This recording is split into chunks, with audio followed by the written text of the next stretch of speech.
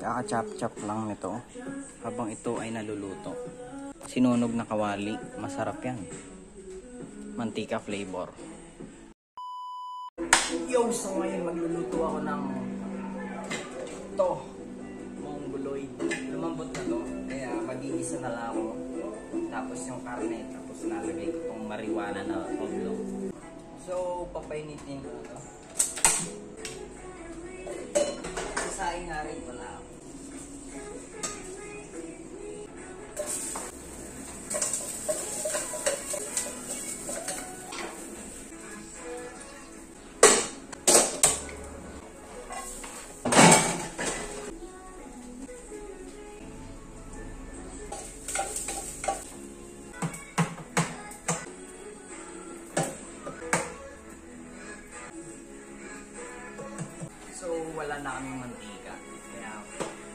Siya. Bahala nang maluluto yung sibuyas at bawang. Uy, natunaw. So, may natunaw ditong plastic. Kasi, malapit sa may kalan, di ba? So, gano'n mo. Di bale, lechon pa rin naman. na may plastic konti. Ayun, kailangan ko ng tomato. Kaso walang tomato. So, itong marijuanang bilog na lang. Very nutritious to. Oh, walang kamatis. Kulang ang supply dito. Pwede nga lang lalagay ito yung saging.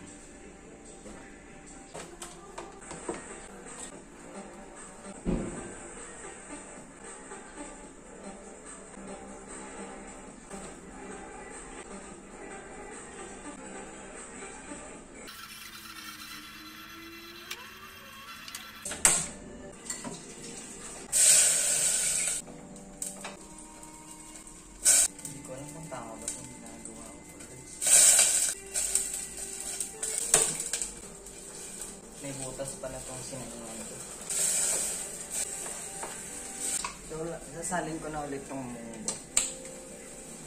Hindi dapat dito mag So, sasalin ko yan.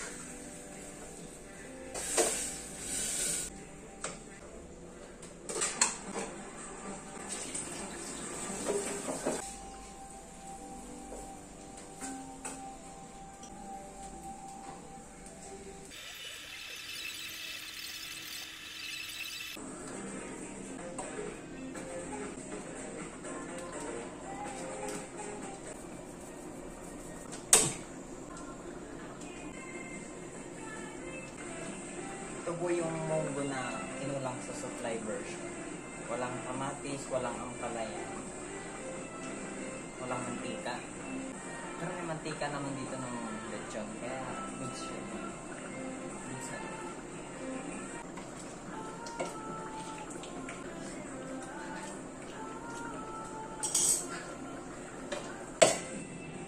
So, titingin ako doon ng pansahog sa may labas. Babalik ako. A few inches later. Yo, nagbabalik Merky so wala akong nakuhang kamatis at ampalaya kasi wala naman na. Well, may tanim doon na ang alam ko. May tanim pero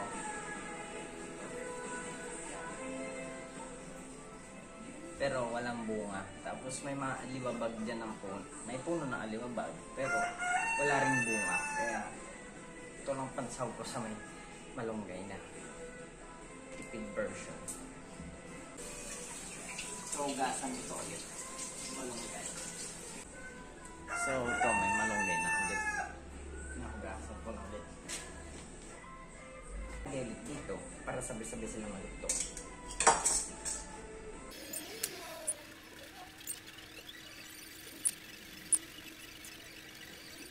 Ito na yung malunggay na with alikabok.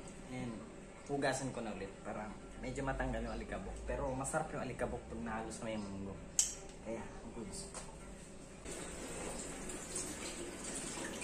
So ito na. Ngayon nga, ilalagay ko na dito.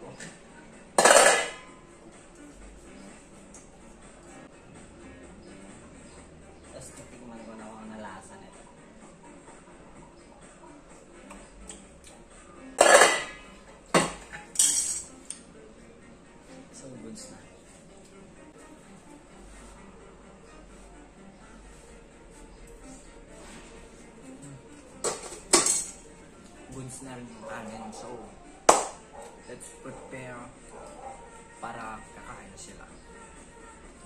Kakain na. Okay. So, meron pang natirang lechon and iinit ko to.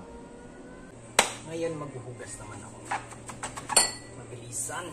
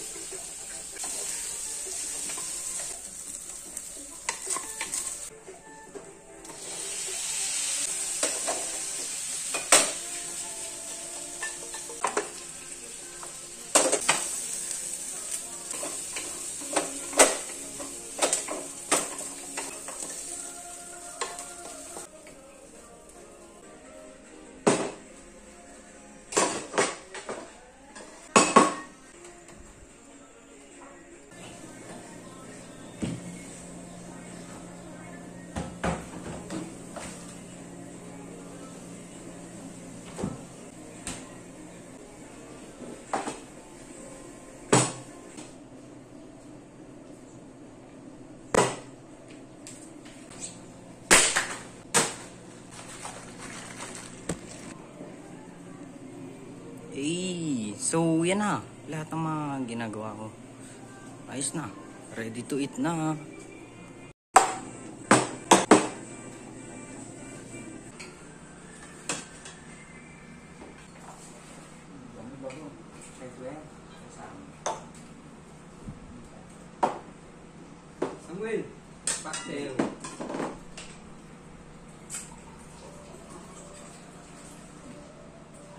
Yung, yung lechon na niluto mo kahapon.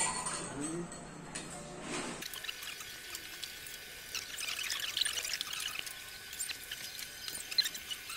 Tapos nang buta, hindi naman